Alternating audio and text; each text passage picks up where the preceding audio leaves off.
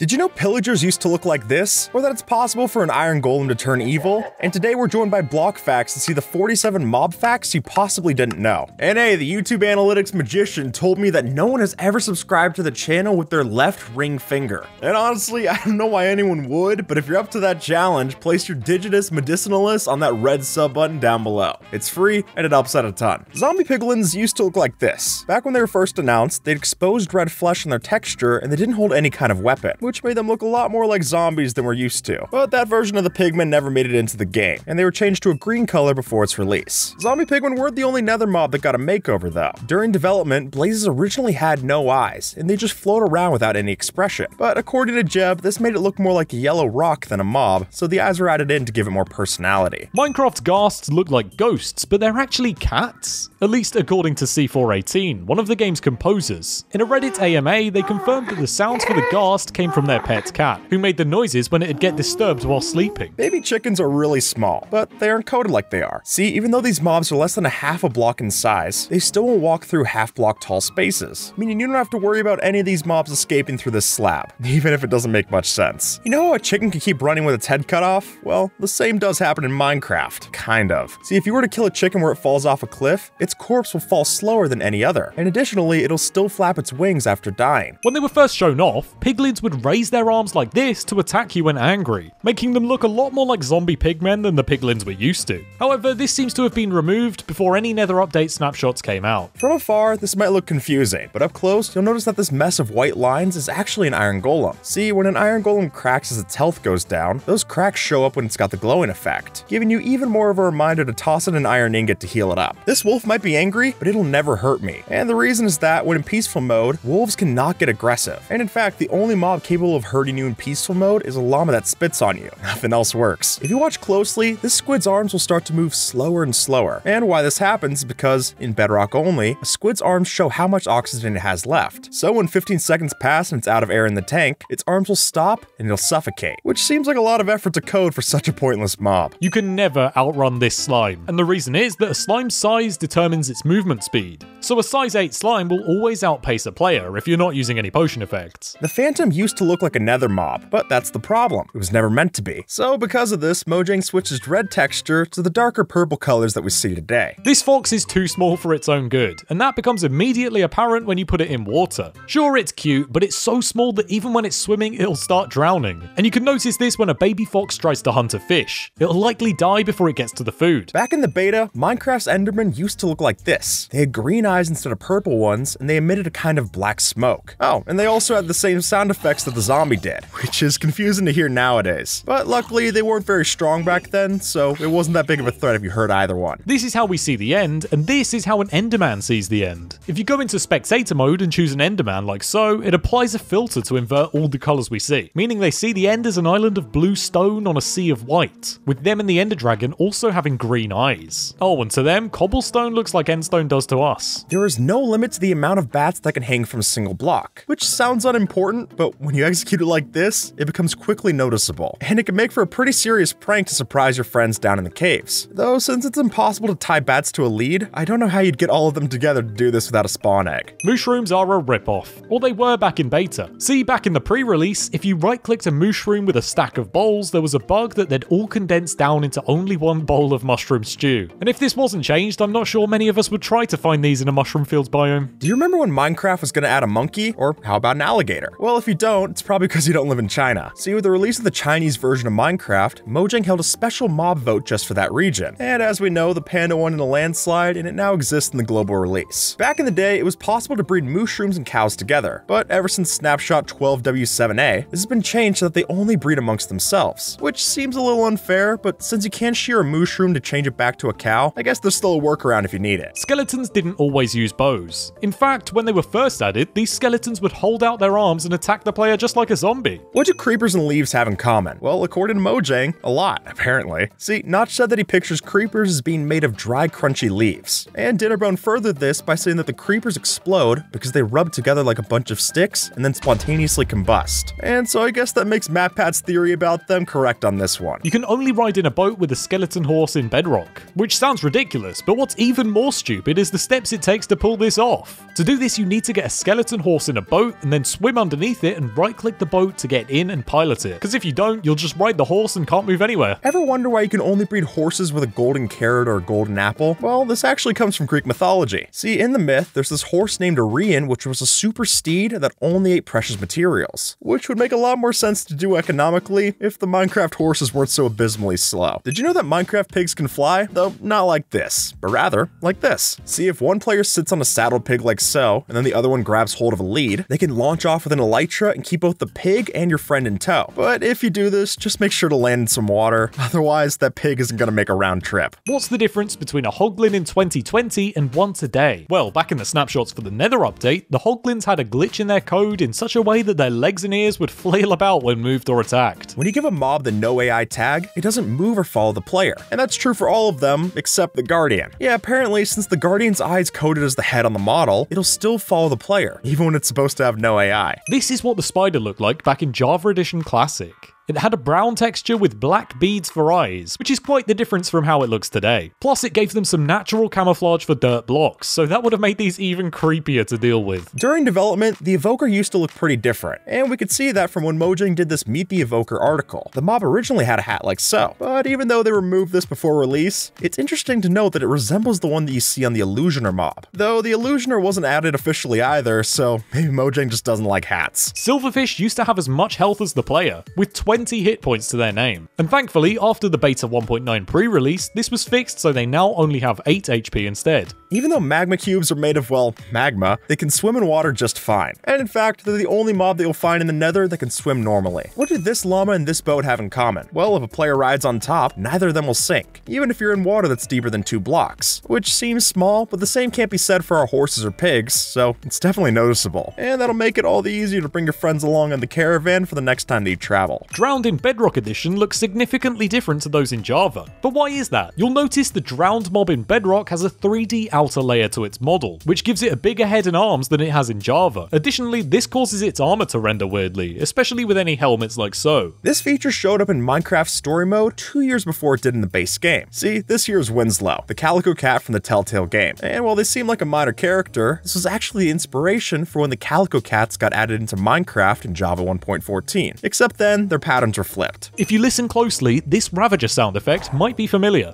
And the reason is that if you change the pitch on the Ravager's first and third death sounds, they turn out to be exactly the same as the Pillager's death sound.